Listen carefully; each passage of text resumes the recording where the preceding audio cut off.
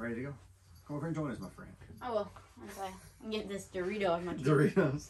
Well, good evening, everyone joining us late this. Uh, I almost said cold winter night. It's cool, but it's not cold. It's not. It has been cold, but it's not cold now.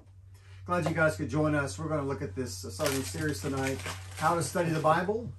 Uh, tonight we'll ask ask the two questions, answer the two questions after we ask them what is the Bible and why should we study it. This is part one. We'll do three or four parts of this. Got my co-host with me tonight, my co-pilot Cameron, joining us. This is the pilot seat though. That's so- the pilot seat. There we go. So, what is the Bible? Let's ask this, answer the question after we've asked it here. The Bible, of course, we've discussed this before, is a collection of 66 books, about 40 different authors, in three different languages, on three different continents, over a period of about 1,600 years. So, it's a collection of books. So, when we think of the Bible as being a book, it's really multiple books, right? Multiple small books uh, smashed together. Com- it's you know compiled to make the Bible. Three languages. What would the three languages be? Can you take a guess at that? I'm putting you on the spot, aren't I? So if Oh, s- oh, I know. Um, Greek would be one. What's another one? no, they, oh, Hebrew, the Oh. Old Testament. English. Well, no, it'd be a translation. So we got Greek and Hebrew. Now, most folks don't get the third one, but there's a little bit of the third one, which is Aramaic, which is a regional language then. Uh, obviously very similar in, in root origin to Hebrew, but it's it's a, a distinct different language. And some of the Bible does contain excerpts and bits of Aramaic. Christ will say things in, in the New Testament in Aramaic that gets put into the scriptures. In fact, it gets transliterated, it's brought straight over into the, New- into the New Testament. Anyway, 40 different authors, uh, 1600 years, starting with the first author we assume is Moses. The Moses account uh, is many of the events that the Moses writes about would be happened long before he was born. The creation story, the flood narrative, all those things happened long before Moses came along. So one or two ways we, we give them this information, either, uh, or maybe it's both of a combination. Either it was orally passed down, which is possible. In that culture before written languages, things were passed orally Or it was. or it's just divinely Yeah. given straight to Moses. Now, it could have been both. It could have been passed to Moses, and then it's Moses, under the inspiration of the Holy Spirit, writes these things down, edits it as he writes these accounts down. So there's no no errors in that. So it's, that's those two um, possibilities I'm most comfortable with, either one of those or both of those in combination. So what's the Bible? The Bible claims to be inspired and inerrant without error, you know. It means the Bible claims to be from God and that it is without error in everything it addresses. Now it's important that we stop for a second here and say just just because the Bible claims to be inerrant wouldn't wouldn't be proof that it is. I could say I've never made a mistake in my life, and see, since I don't make mistakes, I never made a mistake. Or I never tell lies. Well, since I don't tell lies, that's a truth, that's a truthful statement, right? If I never tell lies, then what I say must be truthful. It it gets into a circular argument. I don't think that we approach necessarily approach the, the discussion is the Bible without error because the Bible says so. I think we we approach it that way by looking at the manuscripts we do have and seeing seeing how well, manuscripts we do have, how reliable they are, uh, and we go to sort of this is a weird way of saying this, reconstruct the New Testament. We look at all the thousand manuscripts we have, just the New Testament alone, and then we can rebuild that.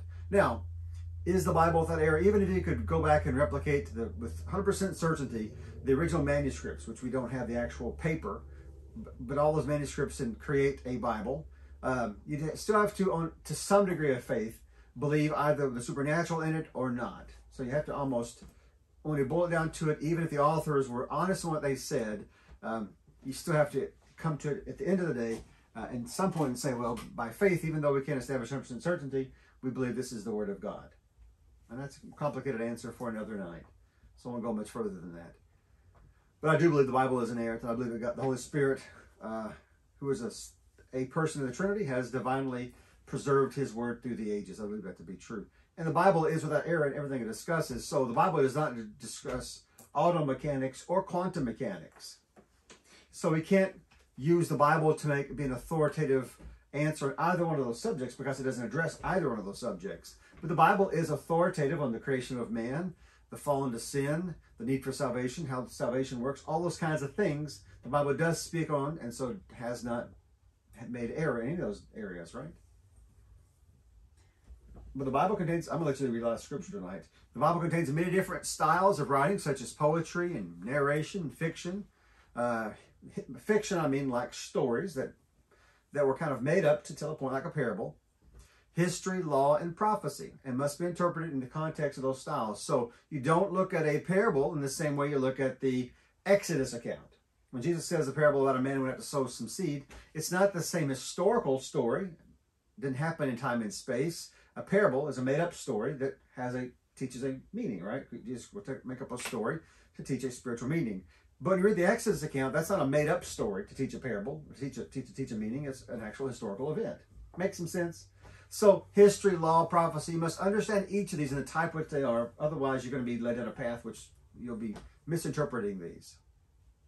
But the Bible is the source of Christian uh, religion in that the Bible contains the words of God and how the Christians apply the words of God to his life. The Bible is our ultimate source of authority, isn't it? When we disagree in issues of morality, our our ground, our base would be the Bible. We have to say, well, the Bible says this. That must settle the debate, right? So while you may have opinions about certain things, at the end of the day, the Bible, it must agree with the Bible or not. You just can't make up things willy-nilly. The Old Testament, we talk about there's two two covenants, two book, two collections of writings, Old New Testament. The Old Testament, the first five books are called the Pentateuch. In fact, you see the word penta means five, like a pentagram, pentagon. You think of the word penta being five. Five books. It's also just called the Law.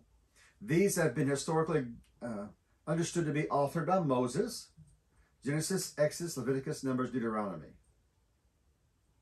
Five books. Got it. And now, all the accounts of the Genesis story and some of the Exodus story take place before Moses was born. And some of the accounts after Moses' death uh, would be recorded in some later books, right? Like Numbers or whatever the case would be there. So the idea here is that Moses write them? Uh, yes, I think Moses is the author of these books, and we talked about that a moment ago. God divinely inspired him to write this, except for maybe the closing of the Exodus account, which Joshua pins that. But while Joshua might write the end of Exodus, Moses gets the bulk of credit for, for the Pentateuch. Now, there's also in the Old Testament historical books. There's 12 books that we consider classified as being history, historical events of the Old Testament, like Joshua. It's the conquest of the promised land. Judges, the same kind of thing. As soon as they get in the promised land, they go into a period of judges and they set up these judges to rule. I know these aren't all in chronological order. In fact, Ruth is out of out of sync here. But you have First, Second Samuel. Samuel. It's a period of time before, uh, but by the end of the Judges, before the kings start. And you got First, Second Kings. That's a period of the kings rising up. Um, and so you get other Chronicles, Ezra, Nehemiah, Esther. You got other books that don't. These aren't in sequence chronologically, but it's just grouped into a sum of books we call historical accounts. Then other book category of books are poetical. These next five books are books that are poetry. Now they're by different authors, but they're told in poetic nature. Book of Job. Now some people are divided where, where to put Job. Is Job poetry written by Solomon or a wise person with a pseudonym, a pseudonym made it all entirely made up, or is Job a historical figure? I think Job is a historical figure. I think he was an actual historic figure. But what we see in Job, how it's written, is written in, in poetry, is styled. Okay. Anyway, so you got Psalms, Proverbs, Ecclesiastes, Song of Solomon. Now, of those five books, Solomon wrote three of those: Proverbs, Ecclesiastes, and Song of Solomon. He wrote those three. David wrote many of the Psalms, but not all the Psalms. Right. And that's that's a bulk of the New Testament. And the last category of books would be the prophets, our 17 books, prophetical books of the Old Testament. In the two categories. There's no quiz on this, so don't, don't memorize this uh, necessarily right now. Major and minor prophets. The major prophets you're familiar with Isaiah, Jeremiah, Lamentations, Ezekiel, and Daniel. And then the other remaining uh, prophetic books, the other 12 books, are minor prophets. Now, it's weird how we classify these, Cameron. They're really only classified major and minor in terms of the size of the books.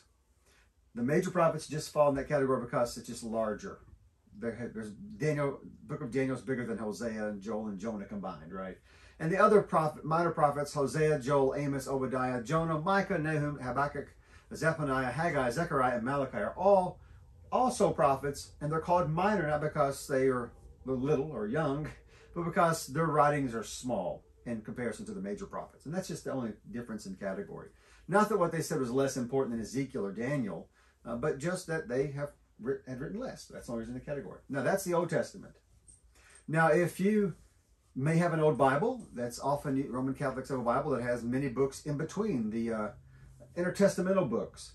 There's the Bell and the Dragon, the First, Second Maccabees. There's a host of books that, of things that occur between Old and New Testament that uh, the Jews didn't count as, didn't credit as being fully inspired of God, so they didn't put that in their canon. Uh, and we didn't, as Protestants, put that in our canon either because the Jews didn't accept those books, and that's just kind of a, a very uh, curt and short definition of why those books didn't make into our canon. But that's basically the reason why. So now we enter the New Testament. You're familiar with these books. There are five historical books in the New Testament, books that recount historical events. Matthew, Mark, Luke, and John. In fact, those are Gospels. A Gospel is not a pure historical narrative, but it is enough that it follows an historical account. And then the book of Acts is just early church history. From the, from the from Pentecost, early before Pentecost, uh, through the first martyr of Stephen, all the way up into about chapter 9, then Saul's conversion, and then the rest of his life to he makes it to Rome, close to makes it to Rome. So that's the book of Acts. Historical books, New Testament, Matthew, Mark, Luke, John, and then Acts. And then there's the Pauline epistles. Now you think, who is she? Well, that just means Paul's epistles.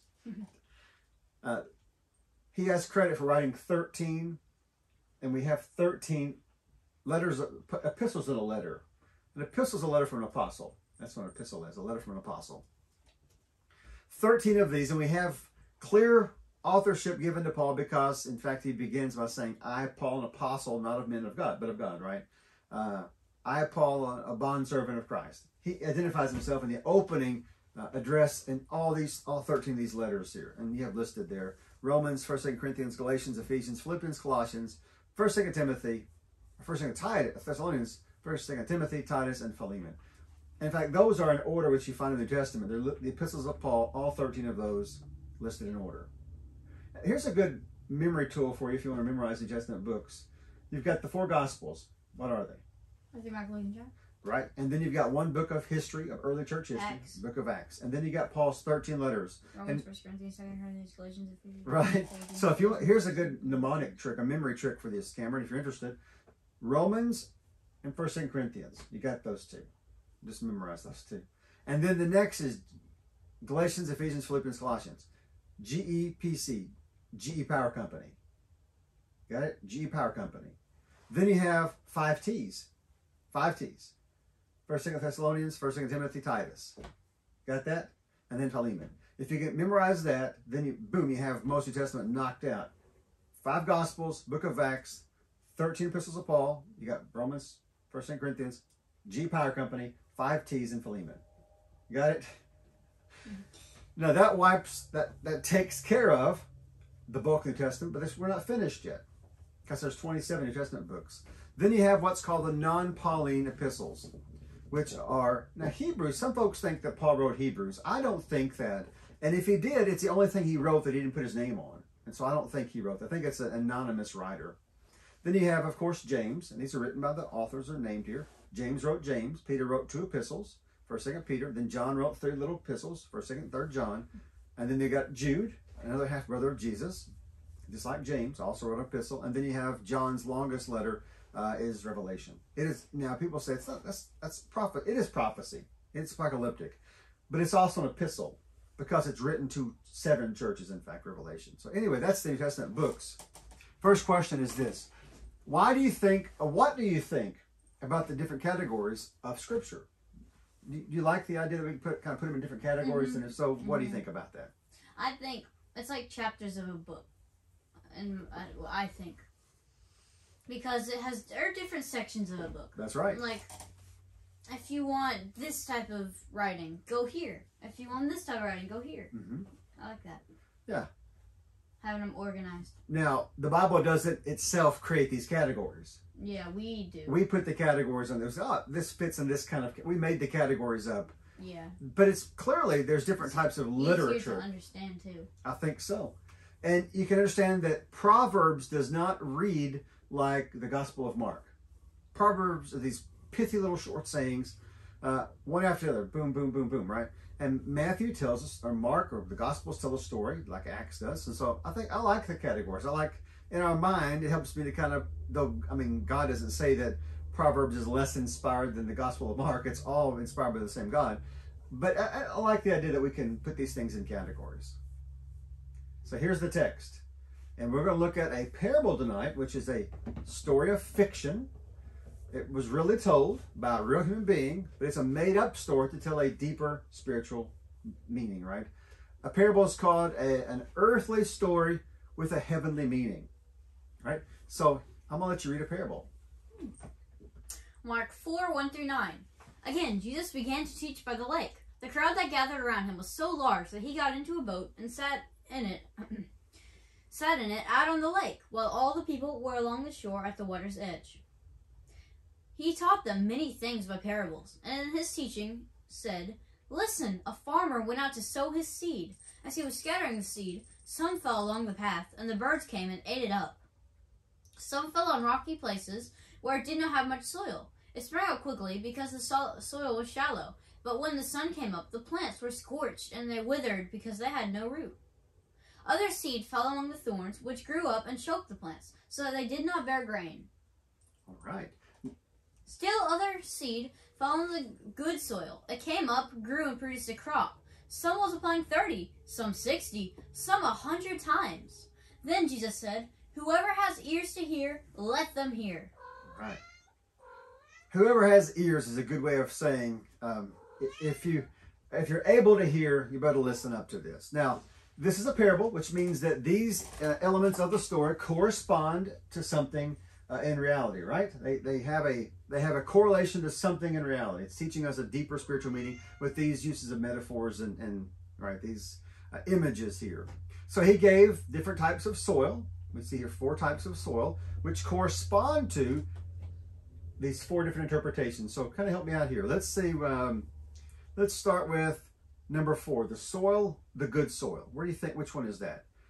Does it is it receive the word? Now the the seed is the word. It's not a parable of the seeds. It's a parable of the soils. Because what's different in this story is really the different types of soil. The focus is on the soil, not the seed here. But the good soil. Which one do you think that is? A, B, C, or D? It's a word received but has no roots. It's a word received and produces good fruit. You know, that's the one, isn't it? Mm-hmm. The good soil produces fruit. How about the you know thorny soil? The word's received but has no roots. Uh, Satan prevents the word from penetrating, or the worries and desires choke the word. D.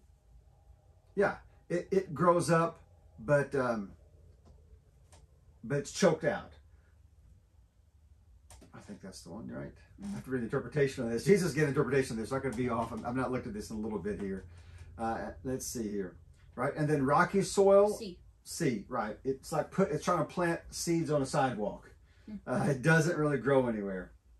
It does, you know, it just can't it can't establish a root. And um, so on the path, A. A, that's right. It it it can have soil. It can uh, it can grow, but it it can't get good roots because the roots can't go too deep because the, the ground is hard. That's it. Now here here's the Jesus is teaching in this that the word which is spoken and goes out, it lands on different types of soil or different types of ears. Some hearts are too hard to receive it. Some hearts can receive it, but because they're so wrapped up in the, the cares of the world, they can't. Uh, it can't produce fruit. Uh, so, some um, hearts receive this, but the but stress of the world and trials, mm, it can't develop roots and it doesn't produce fruit. But there's one type of, of, of the four, one type of heart soil that actually takes the word and lets it grow in it, and that is the good soil. Right? Now, in the light of this parable, what must we do with the word of God? Spread it and share it. We must, that's right. I think in this case, the sower is God, but I think we, we can become the sower in the sense that we can spread the word. We're not responsible for the harvest, the production, but we are responsible for sowing the seed. Now, we think in terms of 21st century agriculture of these machines that go out and plant seeds in the ground and they make a pretty good pro- harvest. It's sort of like this. God is he's so okay. God plants the sowers and they sow the seeds, Right. and those grow up to be sowers, which sow more seeds, and they grow up to be sowers and Yeah. sow more seeds. Now, the seed is the word of God. The seed is the truth that's yeah, spoken. so that's why the God plants the word of okay. God plants the seeds, hmm which are the word of God, and then more sowers come along. Let's just say they grow up into sowers, Right. and they Well, plant it's more word of producing fruit, right? The fruit produces maybe fruits into salvation, fruits, that sort of a thing. We- We're the soil, in, in this illustration specifically, a heart is the soil. and the word of God is the seed which, which has been planted by God, or, or in this case, the planter. I don't know. It's Mhm. it's it's not typical. I, I always say this: you know, be Yeah. careful, don't overcook a parable. Let them just let it let it mean what it means on the surface, and don't go too far much further than this because it, a parable typically teaches one or two things. It doesn't go much beyond that. You don't want to overdo a parable. But in this case here, our responsibility, of course, is to receive the word of God, and our responsibility is for our heart soil, right? To receive it with gladness and to let it grow. Okay? Now let's look at let's go the Old Testament and read something of the Pentateuch. Let's read Deuteronomy. Deuteronomy 6 1 through 12. These are the commands, decrees, and laws the Lord your God directed me to teach you to observe in the land that you are crossing the Jordan to possess. Now, if Moses is the author, who do you think is using the personal pro- pronoun me in this text here? Moses is the author. And then Moses. I'd say it's Moses, Yeah. right? The Lord talked to Moses, and Moses gave us the people. So these are the laws he's about to give them. Deuteronomy chapter 6 and verse 2. So that you, your children, and their children after them may fear the Lord your God as long as you live by keeping all his decrees and commands that I give you, and so that you may enjoy long life. Hear Israel, and be careful to obey, so that it may go well with you, and that the, you may increase greatly in a land flowing with milk and honey, just as the Lord the God of your ancestors promised you. Hear, O Israel, the Lord our God, the Lord is one. Love the Lord your God with all your heart and fill with all your soul and these with all your strength. These commandments that I give you today are to be on your hearts. Impress them on your children. Talk about them when you sit at home and when you walk along the road, when you lie down and when you get up. Tie them as symbols on your hands and bind them on your foreheads. Write them on the door frames of your houses and on your gates. When the Lord your God brings you into the land he swore your fathers, to Abraham, Isaac, and Jacob, to give you a land with large, flourishing cities you did not build. All right. So this is obviously a promise from God to the people of Israel um, that they were to remember this all the ways, right? Put this, write these words on the door frames of your house, on your hands, time, and your forehead, make a sign so that you don't forget them. You always, always referencing God's word. Now, is this written to us today? Well, it was written to them. It was but- written to them. Now, But we can use it. yeah, we, we certainly, what's implied is we are to obey, obey the words of God, but under this particular covenant, we're not said that, it's not said of us that if we obey the Deuteronomy that we get to go to Jordan today or Palestine today and possess that land. Because this was written or spoken to a people of that particular covenant and that particular day. The principle we take from this as Christians is to say we ought to obey God's commands. But the question is which commands? Of course, these commands in Deuteronomy 6 will, will mostly relate to the Old Covenant commands, the, the law of the Old Covenant, which of course won't, they won't all pertain to you, right? Dietary laws, uh, laws related to circumcision, those kind of things don't relate to you specifically. But God was saying, if you love me, follow these laws, obey these commands, and if you do, it goes well for you. If not, we've got trouble here. We didn't finish. We didn't get to that? No. Oh, I'm sorry. I'm okay. Houses filled with all kinds of. Let's roll back to the previous slide and pick up that one. How about that one? When the Lord your God brings you into land he swore your fathers, to Abraham, Isaac, and Jacob, to give you, a land with large, flourishing cities you did not build, houses you filled with all kinds of good things you did not provide, wells you did not dig, and vineyards with olive and olive groves you did not plant. Then be then when you eat and are satisfied, be careful that you do not forget the Lord who brought you out of Egypt of the land of slavery. And that's all the text oh. here. So Oh. thank you very much. Of the land of slavery. So what, what's being said here is God is delivering them. It's a point of the history of the nation of Israel when they've been brought out of Egypt and before they get inherit the promised land. And he's saying, look, I've you're going to walk into this land, and if you're obedient, if you're obedient to me, I'm going to clear the land. And you're going to have all these cities you didn't build, the wells you didn't dig, the vineyards you didn't plant. All this stuff will be yours. I'll take care of you as long as you're obedient. Because who whose land is it? It belongs to God. Now, the the uh, the covenant of the Old Testament was contingent upon their obedience, meaning if if they obeyed, they could get these things. If they did not obey, they were not allowed to get these things, right? And of course, uh, it'll say elsewhere at the end of Deuteronomy, Moses will circle back to this and say, look, now when if you follow false prophets, if you follow false teachers, you fall into idolatry and sin, God will send judgment upon you. But if you're faithful and obedient, God will bless you. That's kind of that's a contingent promise, isn't it? A conditional promise. Now, this is not written to Cameron late in the 21st century. No. These commands. But we can use it. Yeah, that's right. We can say, well, God wants us to obey the commands He's given to us in the New Testament and His moral law of the Old Testament. So here's a couple of questions we kind of get to the end of this tonight. Uh, how is uh, how is loving God the same thing as living according to His ways? And he said, live according to His ways. How's that loving God, living according to His ways? Well, because if you live according to his ways, you show you that you care about him and that you love him. Just like obeying your earthly parents. Yeah. You demonstrate love by demonstrating obedience. And demonstrate you care about them too. That's exactly right. And that you respect them. And that's another way you show love is to respect someone, uh, your parents, to obey them, that sort of a thing. And so God, who is your heavenly Father, the same thing applies there. If we uh, love Him, we will also obey Him. If we disobey Him, it shows we don't love Him. That's getting at that. And that's what He's saying in Deuteronomy here. You know, if you obey the commands, then I will do this for you. I will bless you. I will let you live in houses you didn't build and cities you didn't, didn't fortify and eat from vineyards you didn't plant and drink from wells you didn't dig. I'll give you all this stuff if you're obedient. Now, they were obedient in periods of time and enjoyed prosperity in the land, but they didn't ultimately because at some point they will apostatize and fall away from the faith and horrible things happen. Question four Why was it important for ancient Israel to remember God as they moved into the promised land? Why was it so important that God said, Don't forget, I brought you out of Egypt. You got to remember that. Because then they'll turn away from God if they don't. They'll fall away. That's exactly right.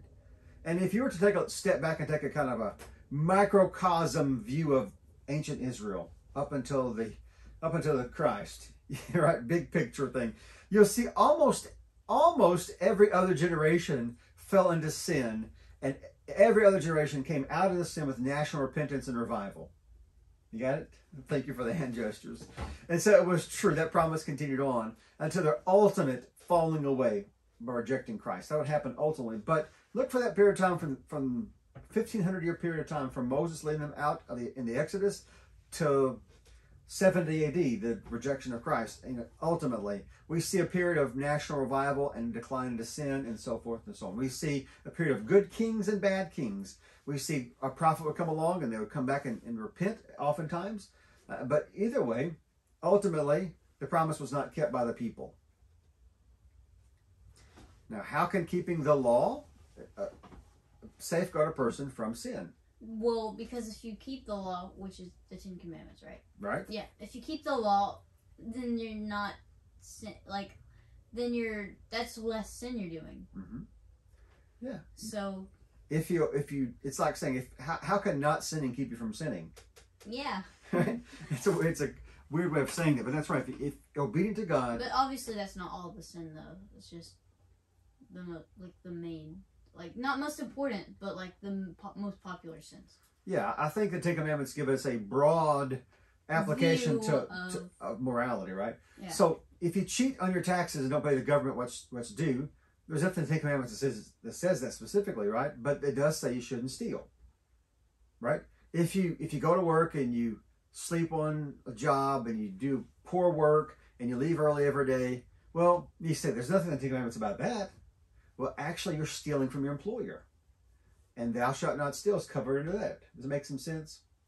Um, so the Ten Commandments really are God's moral law written down, and it is vague enough, or you know, uh, broad enough, I'll say, that we can understand this in various concept uh, uh, contexts. Okay. Question six: What does this passage teach about God's provision, as we see in the Old Testament, God's provision and our gratitude? If God's provided for us, should we be grateful? That's what he's saying. When you go, he said to them, when you go to the promised land and you, you drink from wells you didn't dig, eat from vineyards you didn't plant, live in cities you didn't, didn't build, you go in here and run the people out and you take over the promised land, don't forget that you didn't do this on your own. I've given that to you, right? So be grateful, have gratitude for what I provided for you. Didn't they end up actually turning away from God in the future and everything lost? Ultimately, it- ultimately, they reject every prophet sent to them, and ultimately, And they turn to other gods, right? they would. They'd fall into the idolatry of the gods of the Canaanites and the Baal worship. They'll fall into idolatrous sins of all sorts.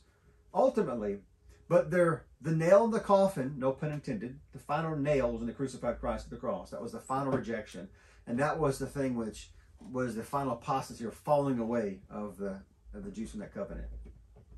Uh, See if the slides move forward. I think I may have missed the slides. So Oh, we're way off of that. we're in, the beginning. We never, none of the slides. All right, I, I, that's not a problem. Let me just. Merry Christmas. That's all right. So what I'm going to do, I'm just going to pull that up. I, I just want to show a couple things. We don't have to go any further than this. Sometimes these things kind of get all a little janky here, a little messed up. And in the meantime, All right, bud. So there we go. there we go. I don't need to show you guys the books of the Old Testament, New Testament. Uh, and that was the first question at the gates. I'm going to push down through here. I want to get us to where we are now. How about that, my friend? Okay, my friend.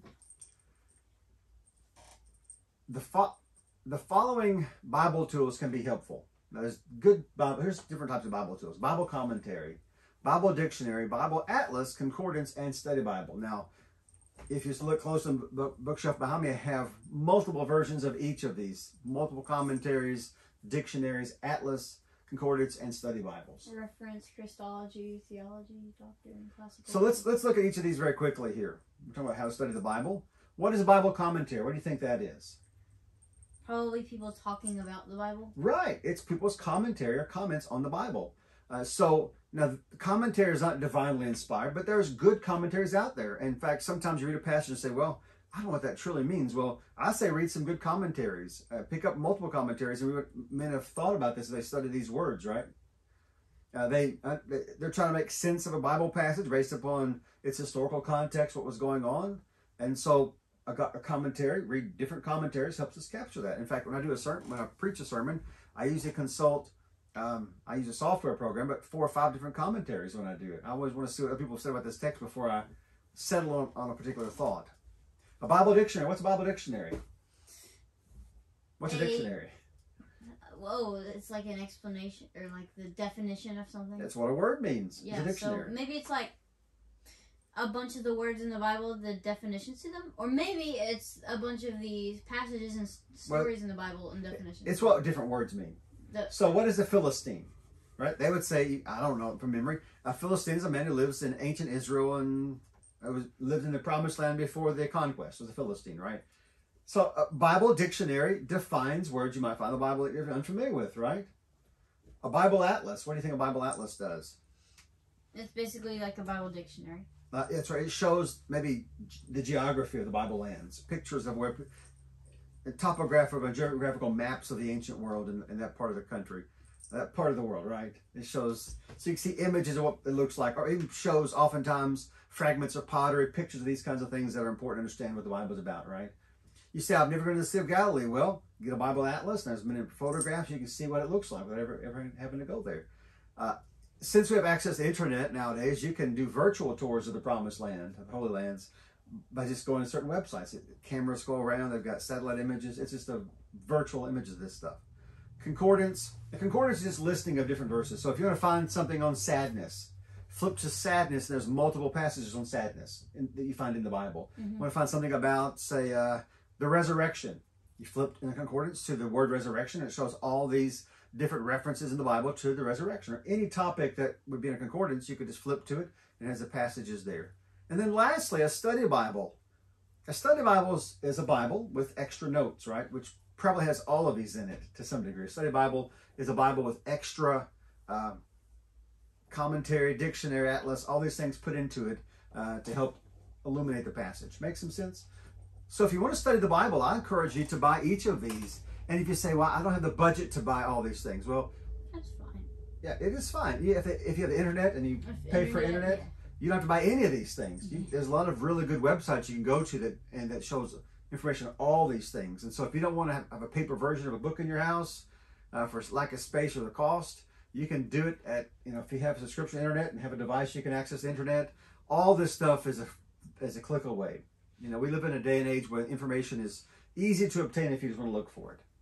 But I always encourage folks get a good study Bible, and that goes a long way. All right, let's move on if we can here, Cameron.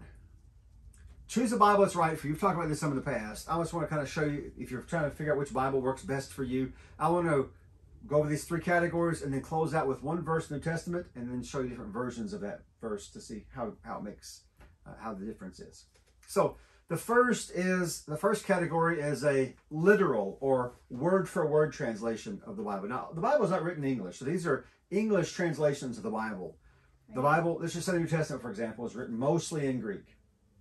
So since we don't have invested time to learn the Greek language, right? A new alphabet and new language and new words.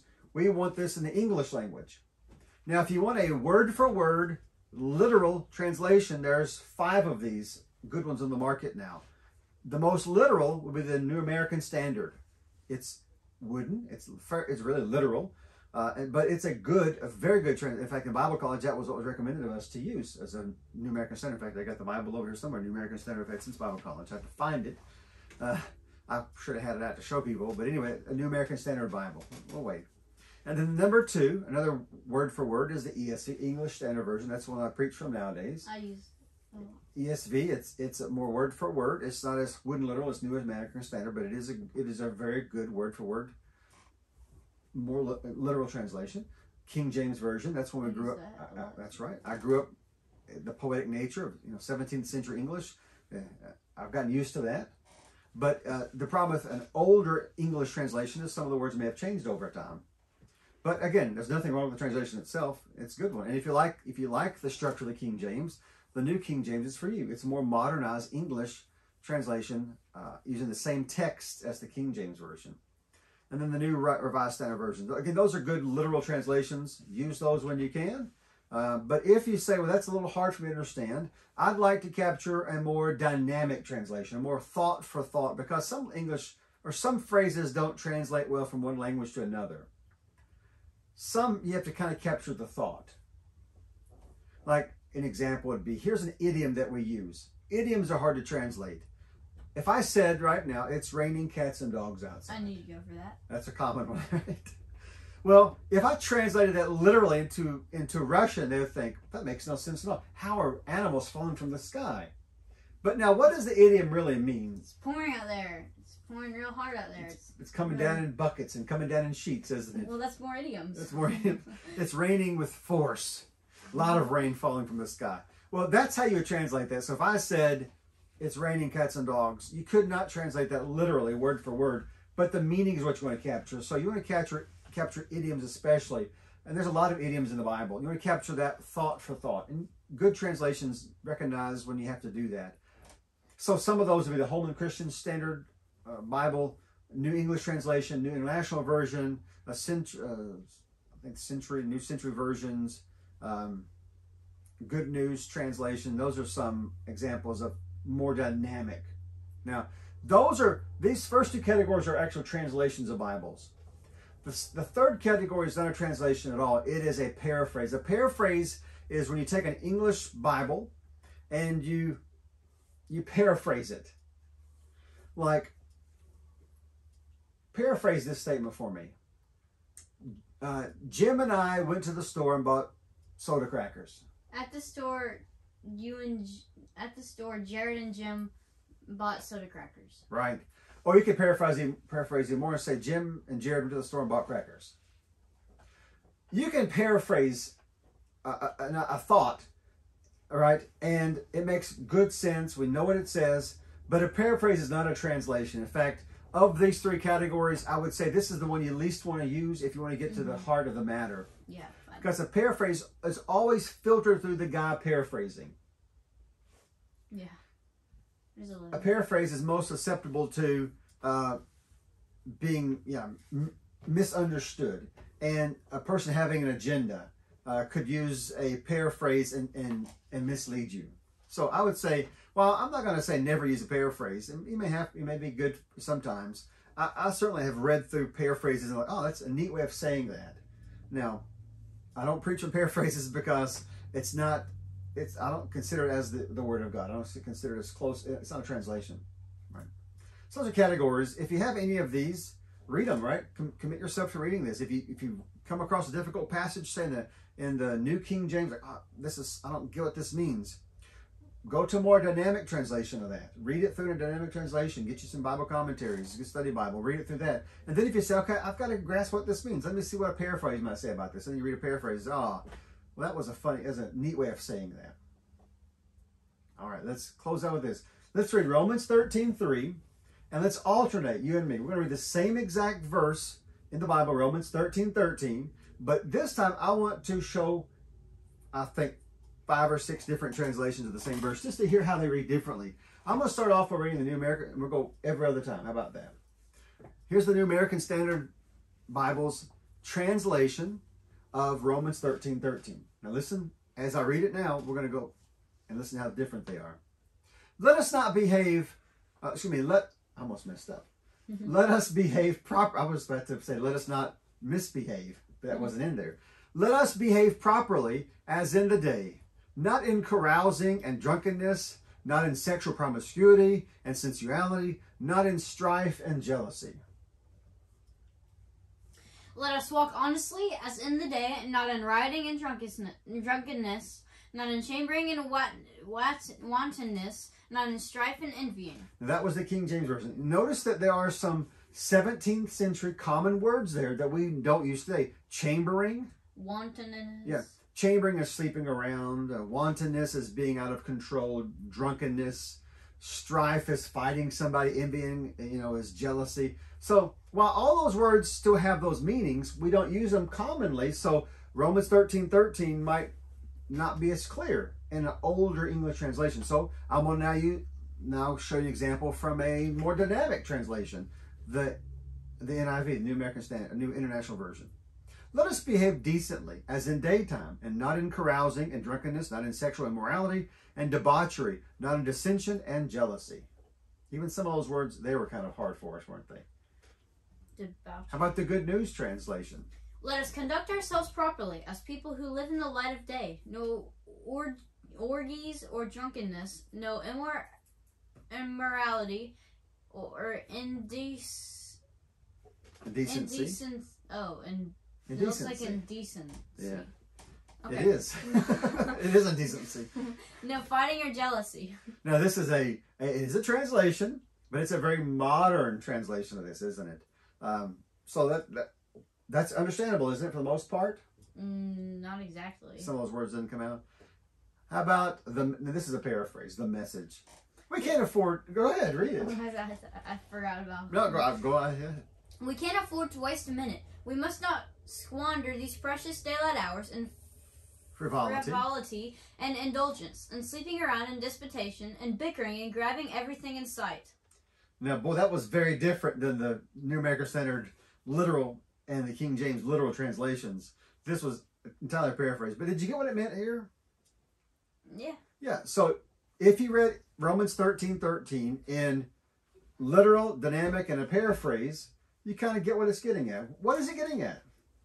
It's telling you what not to do. Like what? What are some things this like, it tells like, you not to do? No. Uh. Don't wait, sleep no, around. I, I know. Um. It's listed right there. No squandering. No, I, I want to put in my words. No. Here. No. Okay. I got you. Okay, go ahead. Not being drunk not de- not like doing bad sexual acts, mm-hmm. not being jealous, not being angry. Yeah, causing fights. Causing fights. Yep, and if if that was difficult for you, or the King James more literals were difficult for you, go to the the next go to dynamic like NIV or Good News translation, and then if that's still difficult for you, it doesn't hurt to read me- the message only for some understanding. Don't I wouldn't preach from this, and I wouldn't I wouldn't say quote from this as being the text because it's only as a paraphrase. I would I would also go to commentaries and read what people have said about these passages because it makes maybe makes some more sense. That's just an example, guys, and I hope that you've got some of this, something out of this tonight. What is the Bible? It is God's divinely revealed Word. It's 66 books, uh, 39 Old Testament, 27 New Testament books. You got that different categories tonight, and um,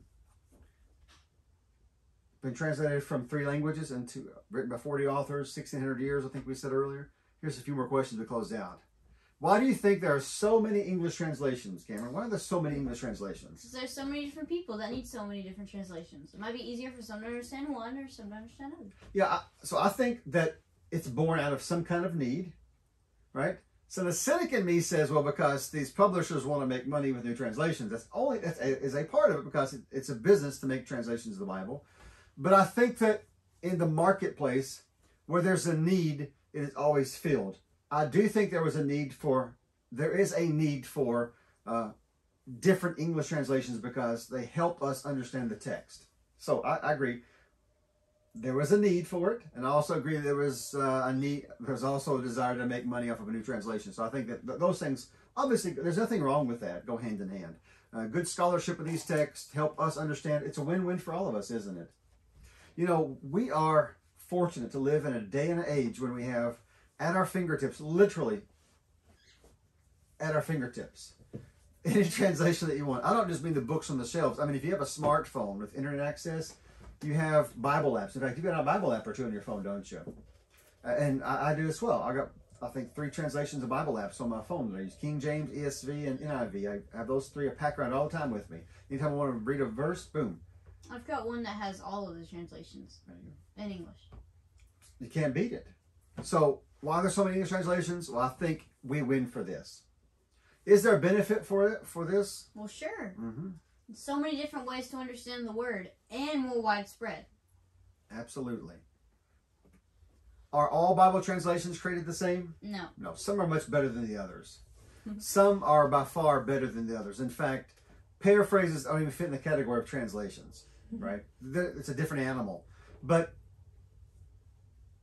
start with the more literal. That's where you want to start. And if that's a little fuzzy or difficult to understand, go to the more dynamic. And I'll kind of camp out those two. Only go to a paraphrase just if you want to read a passage, a passage of scripture uh, in one setting. I think it helps the paraphrase. Kind of gets the idea of how it feels, and then you go back in the text and read it. What do you like more, the KJV or the ESV? I've gotten used to, well, I think I like the ESV. It's more readable. I think the scholarship behind both books are, I'm going to say they're, they're equal. I don't think that one is more scholarship than the other. ESV is a very conservative translation. In passages where there could be dispute, it takes a more conservative approach, theologically speaking. Um, it's, it's a more modern English. You know, every, any good translation needs to be revised as at the same speed of the English language. Or if you're translating to French, at the, the same speed that that language evolves, you must keep your translations up to that speed. I don't mean we're changing the originals, not at all. I just mean as words change, we need to make sure that the words we use now match with what the word was said originally. That makes some sense. Now, there's a bunch of these. Um, we said chambering a minute ago. We saw chambering. That just means sleeping around, doesn't it? Don't sleep around. Uh, now, a very, very good word at the time, but we've lost that in culture, haven't we? So we, we always keep keeping up to speed with how the language is, is coming along. Let me give you an example. We- We're adding words every day to the English language. If you would have told me 20 years ago, um, send me a tweet, I would have had no clue what you're talking about. I would have thought, I'm not a bird. I can't tweet anything, right?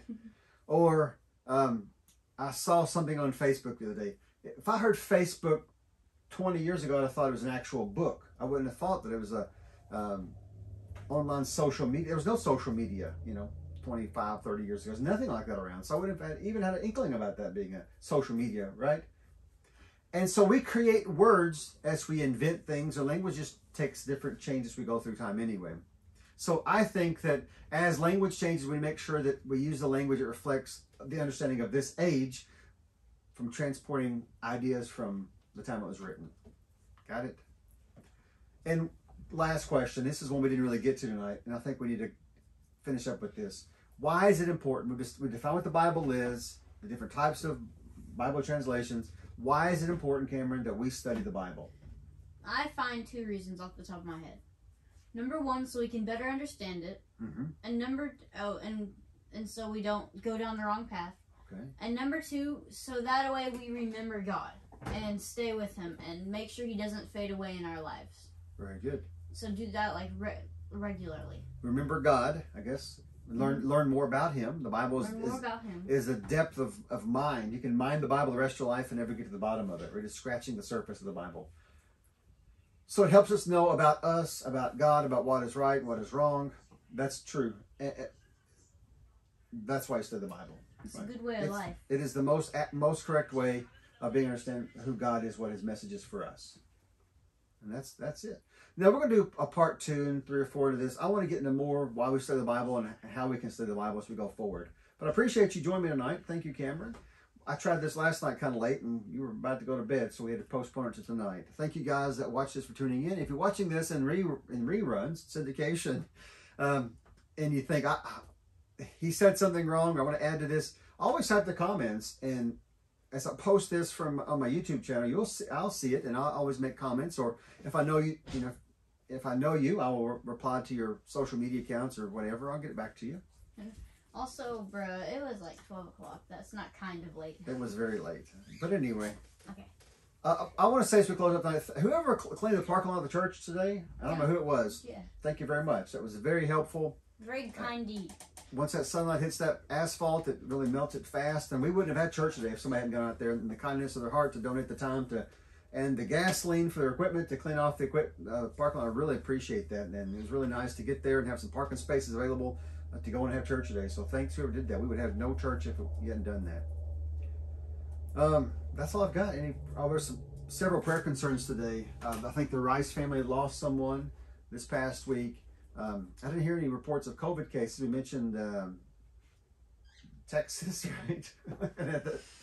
the, people without power in Texas and the rough times they've had. Pray for a warm up, uh, only only to melt- the ice in, in Texas, right? Any pressing prayer concerns, bud? Um, none on my mind right now. All right.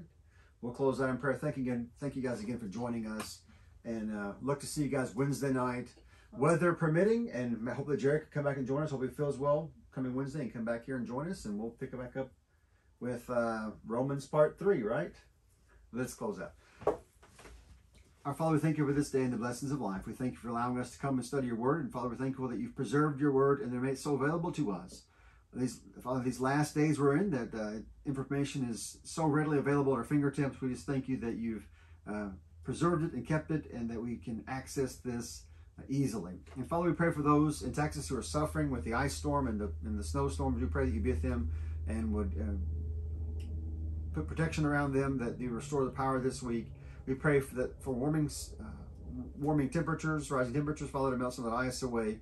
Uh, Father, we ask for uh, prayer for those who are grieving the loss of loved ones. We think we think now of the Rice family. We ask you to be them in a very special way. Be with that families that have lost loved ones. Father, be with those suffering with COVID nineteen. Um, Father, just be with us as a nation. We ask these things in Christ's name. Amen. Amen. Thank you, Cameron. I'll just shut things off. And God bless you guys. Have a good week. We will see you Wednesday night. You put your Braves hat down there. No. I'm just gonna wave at some people.